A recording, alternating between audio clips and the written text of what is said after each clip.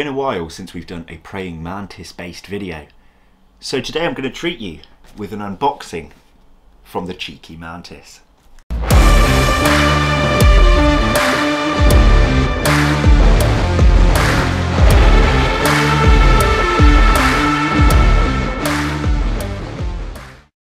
Hello and welcome back to Bug Realms. On this channel we like to discuss all things creepy crawly. So if that's something that interests you, please consider subscribing to the channel.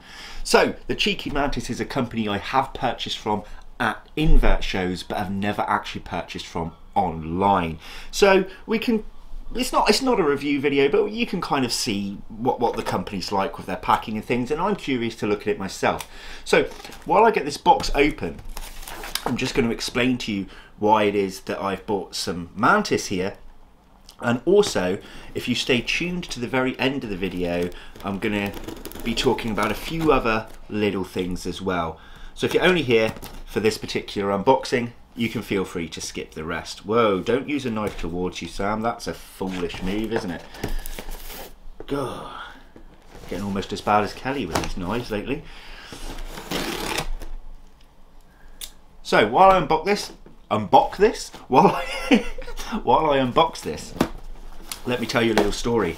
So in all my time of keeping ladies and gentlemen I have never once successfully paired praying mantis for all sorts of reasons.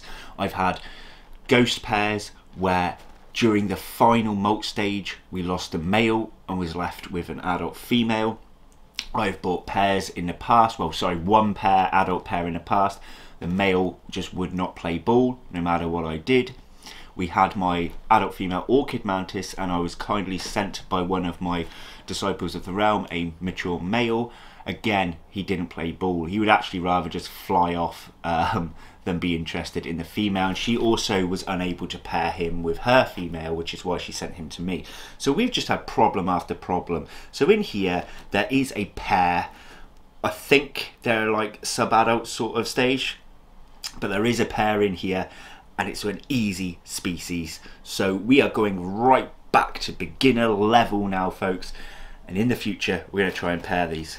So I'm already quite uh, like ooh with this box because we have got here the little business card. I think it's a card yeah? Praying mantis enthusiast and breeder the cheeky mantis. We've got this nice vibrant cheeky mantis style pink packing Oh, and I've also got an additional mantis in here as well. Uh, right, where are we at? Okay, so we've got all three here. So, one,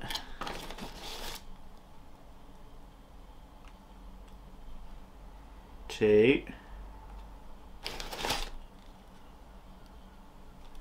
and three. Cool.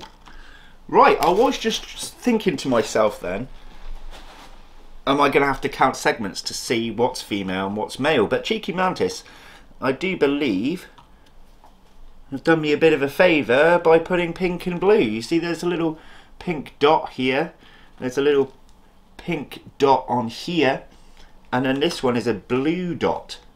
So I'm going to guess that's showing that this one is the male. So we will get them out. I'll have a little look at the segments, check it myself to make sure. So I think these are like a stage behind sub-adult, so like pre-sub-adult stages. Um, L6 maybe. Um, so yeah. Oh, sorry, I'm getting a little bit overwhelmed. Normally when I do buy Mantis, I buy them at tiny little L3, L4 stages. Oh, this is brilliant. So before we get them out, why have I got two female and one male? Well, you would have already or hopefully already seen my live stream. There was a live stream that played on Wednesday. This video is actually being recorded on the Wednesday but before the live stream. And in that live stream, I was going to try and persuade my friend James to try out the invert hobby. And I know that we'd spoke about Mantis in the past, so I've actually bought an additional female Mantis. Now these are the I can never say this right. I always say Schroedermantis, but it's like Sphodromantis, Sphodromantis um, species, and they're like Togo, I think. They're an African mantis, yeah. Mantis species Togo, African mantis. And these are kind of like your very basic beginner level mantis. Now I thought to myself, if I'm going to treat James to a mantis, I'd like to get him a female because they live longer. I'd like to get him a beginner species, like we've done here. I'd like to get him a specimen that isn't super tiny so he doesn't have to worry about things like fruit flies and the vulnerability as well of younger ages. So if you're going to get your first mantis guys, I would recommend getting at least like an L4, L5 stage so that you're past that vulnerability. So that's why we have an additional female. Now if we're successful in the pairing of our male and female, we can then try and move our male onto James's female. I say James's, but he may not accept this mantis. He may not want to join our hobby, which is fine. I will keep the mantis for my own breeding projects. We literally are just doing a live stream for a bit of fun to see if he took it. So if you haven't watched that live stream, maybe go back now, have a check on it and see did James accept my gift of trying out his very first invertebrate? Or is she staying with me? Don't mind either way. Now I've talked at the screen for quite a bit here, so we're going to have a nice little look at these mantis, and then I'm going to give you a bit more information on this video about other things going on. I have a little tarantula in this box to give thanks out to, among a little talk about how our projects are going and what's going on with the channel. So first of all, let's take off our top here and see if we can get our mantis to come out. Hey! Chill, chill, chill. I'm not going to hurt you. I love the way they just wiggle their arms. They're so inquisitive, Mantis. They're so underrated as well. And on YouTube, they don't get an awful lot of views. Did you guys see that? Where has she gone? She just jumped off my table. she literally jumped the full length of the table off the end. So she is actually definitely female. I can tell because she's only got a limited number of segments. Males will have more segments than females on their abdomens and they tend to um, increase as they go up to the tip as well. So, let's have a little closer look at her. Should we put her onto Komorebi and have a look there? For a second there, guys, I thought I lost her. Can you see her? There she is. So, simple African species, but a beautiful species nonetheless, right? Look at those raptor-like arms. I wanted to get her on the moss. Shall we see if we can just... What's it? It's alright. There's a better look at that abdomen. So you look at these segments and then we'll compare it to the male soon. do you know what I love about Mantis? Is this little shield part here. I would love to get myself some of those really large shield base Mantis. I think it's super cool. I'd like to get a side shot you girly. Can we do that? Can we please? Look at her. She's so pretty. Yes, you are. Yes, you are. Mm-hmm. so let's put her back and let's compare her to the male. So I just noticed actually, I didn't read properly. This female says Chad, which I'm guessing is a place in Africa, I do believe. This male says Chad but this one says Togo so I'm hoping they are all the same just different locality which would be fine so I think we'll end up keeping actually this female and this male um, because they're both from Chad. And then we best give the Togo one which is the one we just looked at to James. But you can see the female of the Chad one. Same sort of size right? So here is our male. Let's try and uh, get him out on Komorebi.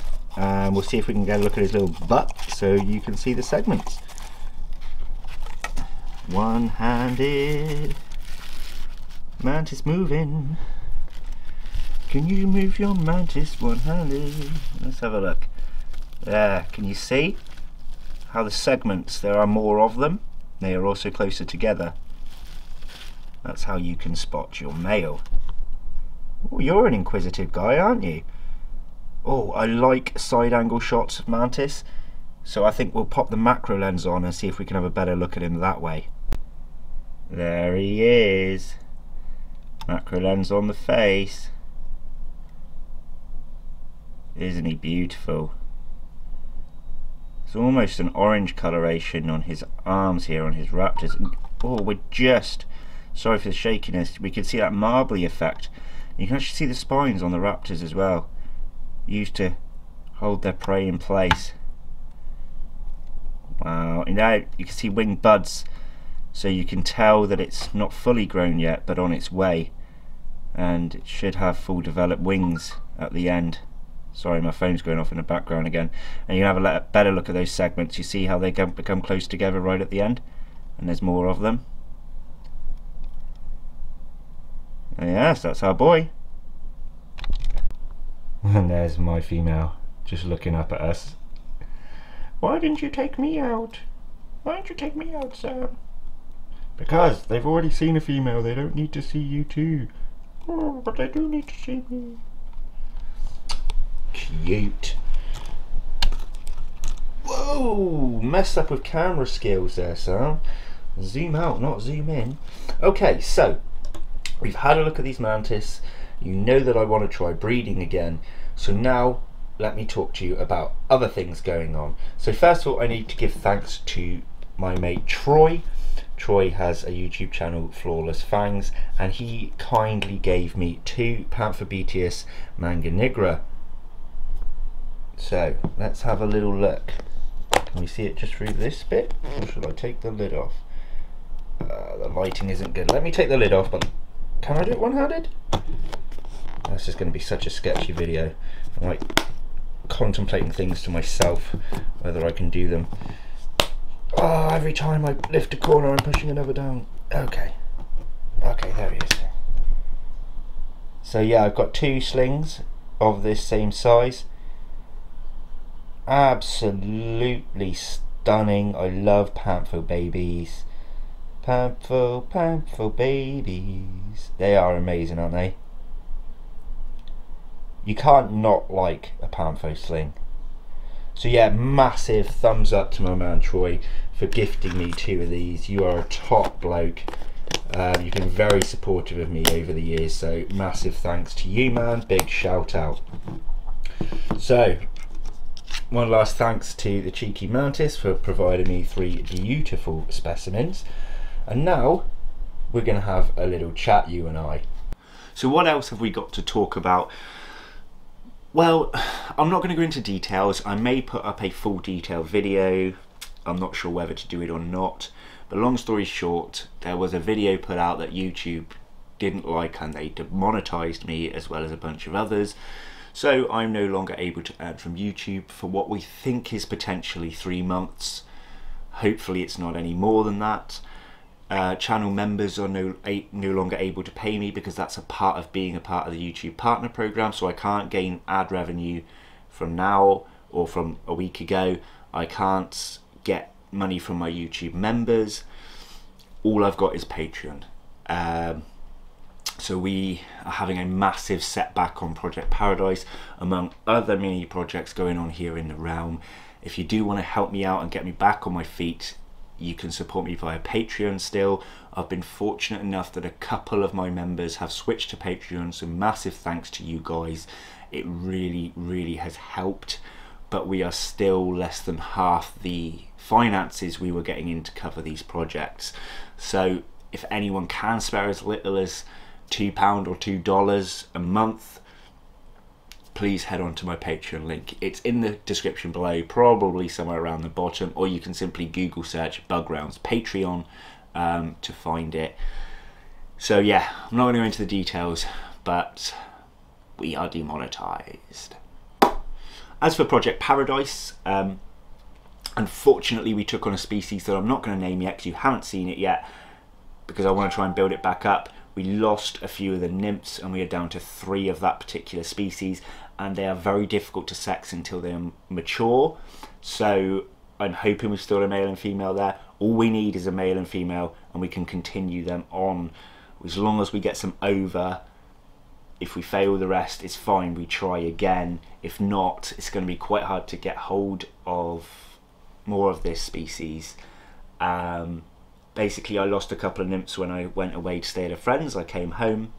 I think because they're a humid kept species I may have I, I wanted to give them a bit of extra water because I knew I was going to be away and it's coming to summer. Perhaps it was actually too high a humidity for them. I don't know. I've done something wrong to lose a couple of them. Um, aside from that and the loss of our hypericum plants, which I mentioned a while ago, sorry I keep looking that way, I'm actually looking at the stick insects. Um, aside from that, the loss of one of the species, the loss of our hypericum plants, and the fact that I'm no longer funded for Project Paradise, aside from all those things, it's going alright, it's going well. Um, I've got some new species on the way, it's probably going to be in next video uh, doing an unboxing. So some of them I've kept secret from you, some of them I haven't. Um, and I'm quite excited by this unboxing, so make sure to stay tuned to the channel if you want to see what it is I picked up. There is one species in there I have been after for a very long time, so that's going to be quite exciting. So yeah, to end this off, thank you to Troy, thank you to my viewers, thank you to Cheeky Mantis, and oh, one last thing, make sure we do you do pop back on my replay of my live stream that went on Wednesday to see whether our friend James really did take on his very first invertebrate or whether she continues to live with me. So thanks for watching everybody. Take care. Bye bye.